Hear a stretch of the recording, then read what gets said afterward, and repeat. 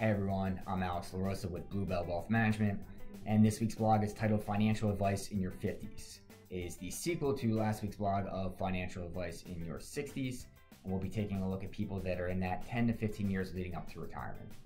I think that this time of the financial planning life cycle is crucial, and what you do as an individual will have the biggest impact on your retirement readiness as well as any kind of financial plan that you have. We'll discuss things such as catch up contributions in your 401k or your IRA, uh, paying off any bad debt, as well as planning for long term care. You can read the blog by clicking on the link above. I will also put the link to my calendar if you would like to talk to me personally about planning. Uh, I hope you enjoy. Have a great day.